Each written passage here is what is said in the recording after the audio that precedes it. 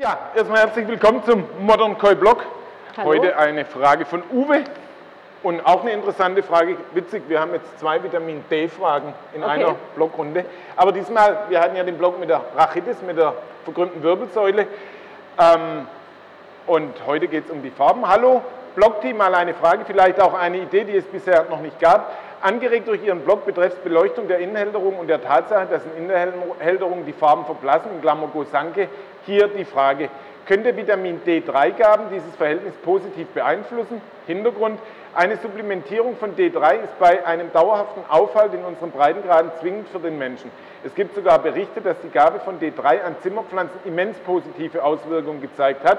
Lichtfaktor in unseren Räumen. Wäre eine positive Auswirkung bei unseren Koi im Bereich des Denkbaren. Danke und sehr tolle professionelle Arbeit, die in Ihren Blogs geleistet wird. Nickname Facebook Uwe Sippo. Den kennt man. Hallo Uwe. Hallo, Hallo. Sandra. Was hältst du von der Idee? Also D3 ist zweifellos ein wichtiges Vitamin für die Schönheit der Haut. Ob man damit Das sieht man tatsächlich, doch. ob man mein tatsächlich, Nickname auf Facebook D3. ob man tatsächlich ähm, das verblassende Rot damit unterstützen kann, wage ich zu bezweifeln. Und zwar aus einem Grund. In dem Konishi-Futter ist das Maximum an D3 drin, was der Gesetzgeber zulässt.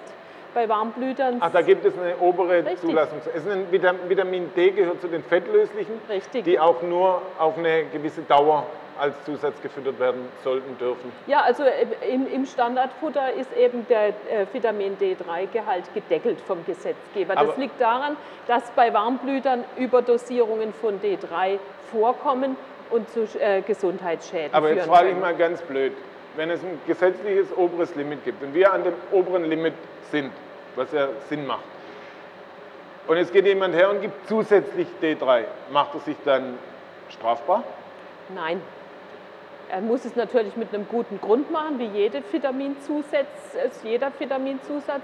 Wenn man in die Fläschle reinguckt, wo die Pillen drin sind für die Menschen, steht auch drin, wie dass der Tagesbedarf nicht über mehrere Monate deutlich überschritten werden darf, weil eben bei Warmblütern Gesundheitsschäden bekannt sind. Ist bei Fischen nicht der Fall, wäre also jetzt von der gesundheitlichen Sache Auch nicht, wenn sie im warmen Wasser schwimmen. Spaß. Nee, da gerade nicht, weil dann wird es schneller für Stoffwechsel. ja, Spaß.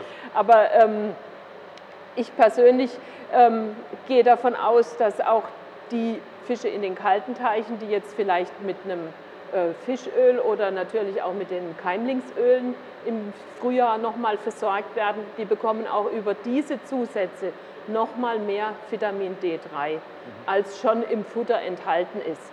Also mit anderen Worten, andersrum gesprochen, wenn du hier dein Konishi-Futter verfütterst und das Rot verschwindet und du tust Keimlingsöle dazu und es kommt nicht wieder, dann ähm, haben Keimlingsöle und Vitamin Zusammenhang. D3 wahrscheinlich auf das Rot keine Einfluss, aber vielleicht sehr wohl auf den Glanz von der Haut oder ähm, die Hautgesundheit, die Schleimhautdicke und sowas. Man weiß zum Beispiel, Vitamin E hat einen sehr starken Einfluss auf die Schleimhautdicke. Da gibt es auch Untersuchungen wissenschaftlicher Natur. Und das ist zum Beispiel auch einer der Gründe, warum in den japanischen Naturteichen, also ich kenne das in Japan nicht, dass es in den Glashäusern gemacht wird, aber in den Naturteichen, wo wenig Fisch auf viel Wasser, da werden auch gern mal Seidenraupenpuppen Puppen gefüttert, weil da einfach ein extrem hoher Vitamin E-Gehalt und der dann dafür verantwortlich ist, dass die Fische mit einem entsprechend schönen Glanz, mit einer weichen Haut Ja.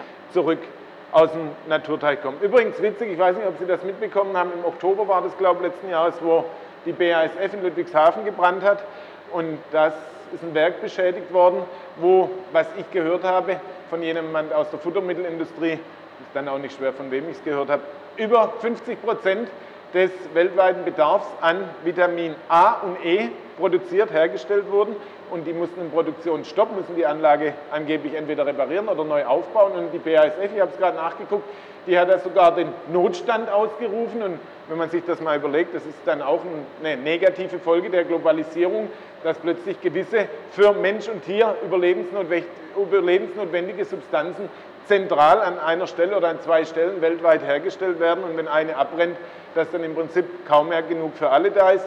Man weiß im Moment nicht, wie viel hat die BASF gelagert und man weiß vor allem nicht, wie viel die Futtermittelhersteller, die Futtermittelindustrie, wie viel dort bevorratet wird.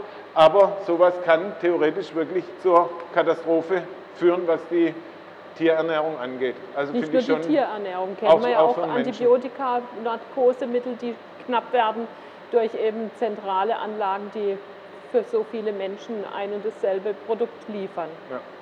Also ist schon erschreckend. Aber du würdest jetzt nicht Vitamin D oder E oder A, also die ganzen Fettlösungen, würdest du nicht als Futterzusatzstoff beimischen? Nicht dauerhaft. Nicht dauerhaft. Vielleicht mal schubweise, jede Woche, in der Woche ein Tag oder eine Woche ähm, in, als Tag. Kur. Genau wie bei uns Menschen auch. Alles, was man die ganze Zeit im Überschuss gibt, wird nicht genutzt und ist rausgeschmissenes Geld. So, dann wissen Sie das jetzt auch. Halten Sie das Geld bei sich, kaufen Sie einen schönen Koi oder ein tolles Konishi-Futter dafür. Gesundes Futter ist alles. So, in diesem Sinne machen Sie es gut und Uwe, danke für deine Frage. Ciao.